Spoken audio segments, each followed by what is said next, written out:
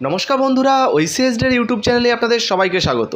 বন্ধুরা, বর্তমানে আপনাদের কাছে যদি একটা জব কার্ড থেকে থাকে, তাহলে আপনাদের জন্য রয়েছে একটা বিরাট বড় সুখবর। হ্যাঁ বন্ধুরা জব কার্ড থাকলে আপনারা পেতে পারেন দশ হাজার টাকা থেকে শুরু করে তিরিশ হাজার ছশো টাকা পর্যন্ত। অর্থাৎ মোট পাঁচ মাসের টাকা একসঙ্গে আপনাদের ব্যাংক অ্যাকাউন্টে আসতে চলেছে। তো বন্ধুরা, বর্তমানে এই জব কার্ডের টাকা আপনারা কারা কারা পাবেন? কি করলে জব কার্ডের এই টাকাটা আপনাদের ব্যাংক অ্যাকাউন্টে আসবে? এবং এই বিষয়ে মাননীয় মুখ্যমন্ত্রী মমতা বন্দ্যোপাধ্যায় লাইভে কী কী জানিয়েছেন? সমস্ত কিছু আজকের ভিডিওতে আপনাদেরকে জানাব।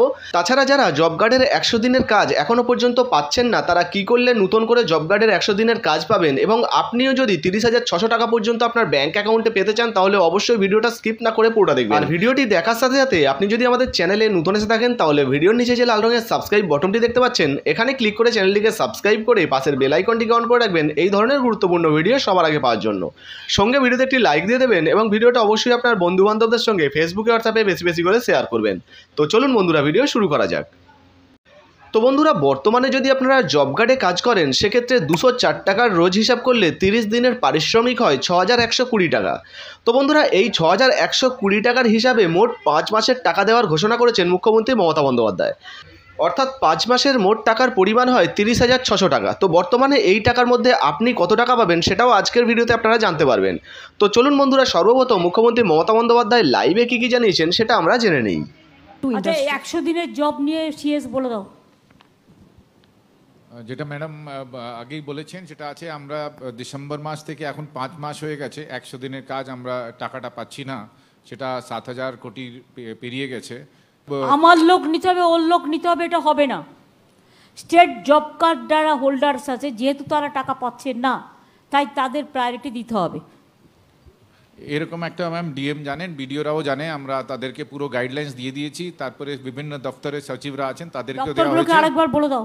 হ্যাঁ যেটা আছে মেনলি ম্যাম যেটা আছে এখানে PWD department irrigation department WRID department urban development department panchayat and rural development department মূলত এরা এই ডিপার্টমেন্টগুলোতে বেশি কাজ হয় তারপরে যেটা আছে পঞ্চ- আহ, আমাদের স্কুল এডুকেশন ডিপার্টমেন্টে বিভিন্ন কাজ হয় backward classes department tribal department তারপরে আছে এমএসএমই ডিপার্টমেন্ট বিভিন্ন যে ডিপার্টমেন্ট মূলত এই ডিপার্টমেন্টগুলোতে আহ, তারপরে পশ্চিমাঞ্চল উঞ্চ- উন্নয়ন ডিপার্টমেন্ট সেটা আছে। এখানে প্রচুর কাজ নেওয়া হয় প্রতি বছরই। এখনও কাজ অনগোয়িং কাজগুলো চলছে। নতুন কাজও নেওয়া হবে।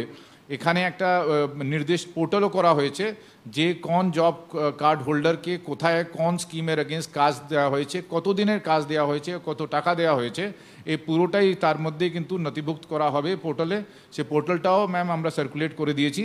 এটা এখনই আমাদের যেহেতু পাঁচ মাস ধরে এরা টাকা, কাজ সেরকম পাচ্ছে না, পুরোনো টাকাটা যে কাজ করেছে সে টাকা, টাকাও পাচ্ছে না, সেটা ইমিডিয়েটলি এদেরকে কাজ দিতে শুরু করে দেওয়া হবে।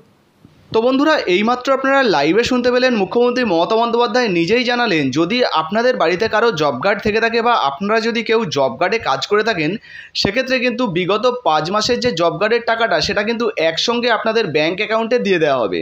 অর্থাৎ বন্ধুরা, যদি আপনারা পাঁচ দিন, দশ দিন, পঞ্চাশ দিন বা একশো দিন বা দেড়শো দিন জব কার্ডে কাজ করে থাকেন, সেই কাজের হিসাবেই কিন্তু আপনাদের ব্যাংক অ্যাকাউন্টে জব কার্ডের টাকা দিয়ে দেওয়া হবে। অর্থাৎ পঞ্চাশ দিন, ষাট দিন বা একশো দিন বা একশো কুড়ি দিন আপনারা যে কদিনের কাজ করবেন, সেই কদিনের টাকা কিন্তু আপনাদের ব্যাঙ্ক অ্যাকাউন্টে আপনারা পেয়ে যাবেন।